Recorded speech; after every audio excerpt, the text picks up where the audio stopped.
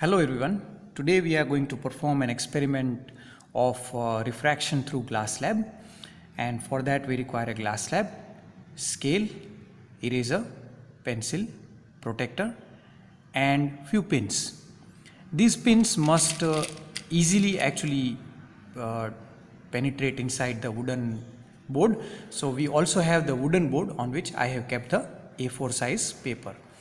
Now how we are going to start the experiment is we are going to take two pins and then we are going to put the glass slab at the center and two softboard pins must be rigidly fixed like this so that the paper does not move one on each of the opposite sides so you can see that I have fixed it. Now try to minimize the movement of, uh, of the entire apparatus. Now what am I going to do is I am going to make the outline, mark the outline.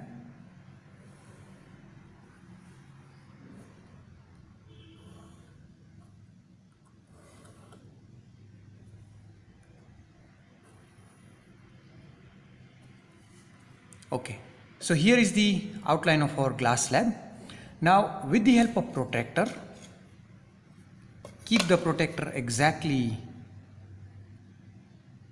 in between like this and I need to draw an angle of 60 degree with the normal. So I'll be marking a point here and this part of the protector I am going to keep it over here and this line should be coinciding with the line which we have made the outline of the glass slab like this. Now this would be normal. So this point would be the normal. And from here this is 10 degree 20 degree 30 degree. So I'm going to keep the angle of incidence 30 degree. Now with the scale don't get confused. This is not 60 degree we are measuring the angles from here 10 20 30 now i'm going to remove this. And with the scale this would be my normal. And joining these two this is my incident ray right? Okay. Now what am i going to do is i'm going to extend this line forward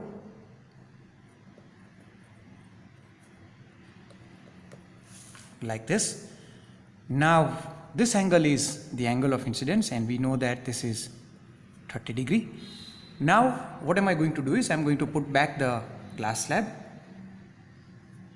like this properly placed. Now I will be needing another four softboard pins and I am going to attach them on this incident ray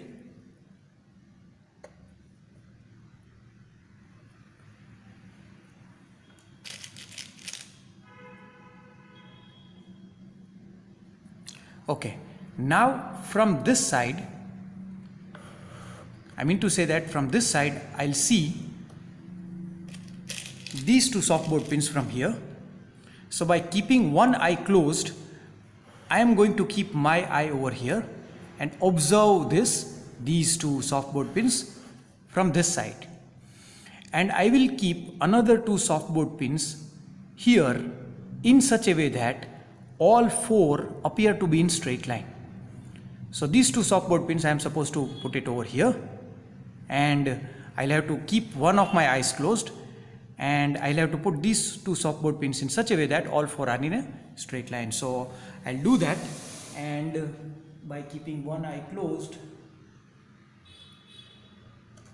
this is this is the one and okay this is the one. Fine.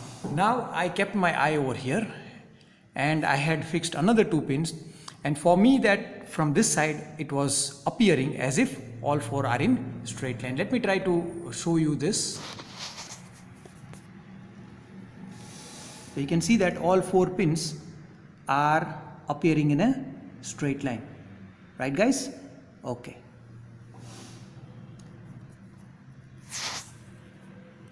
Now, now I need to remove these pins and with the help of ma this pencil I'll mark these two points. Now we don't require this glass slab so I'll put it aside. Be very careful in handling the glass slabs because fragile material. Now with the help of scale I'm going to make a straight line in such a way that these two dots are joining my outmarking over here like this. This would be my refracted ray. This is the point of incidence. Again a normal. Now this point and this point are supposed to be connected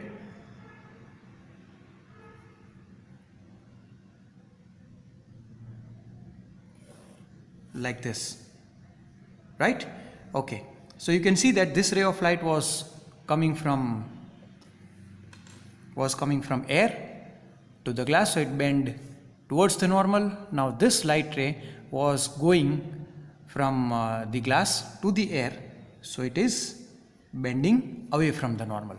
Now this extended ray this ray I need to extend it and uh, you can see that the extended ray was not up to the mark so I am extending this once again and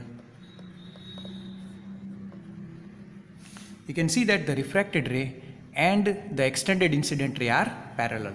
Now this distance is called the lateral shift. Let me measure the lateral shift. The lateral shift is 1.3 centimeters. So the value of lateral shift was 1.3 centimeters and now uh, I can also measure the angle of refraction as well. So the angle of refraction would be this angle and very carefully we are supposed to measure this angle. So here is the point where I'm going to put this point of my pro protector like this and this line should be matching with uh, my normal. So okay now this angle is 20 degree. You can see that right so this angle is 20 degree and now I am getting this angle as 20 degree so this is the way we, in which we uh, measure the angle of incidence angle of refraction and the angle of emergence would be same as the angle of incidence. Let's check that again. So this point I am going to put this point over here.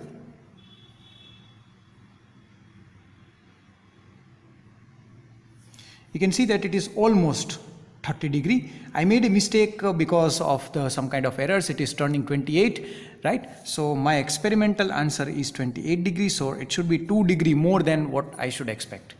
So this is the experiment about the refraction through glass slab.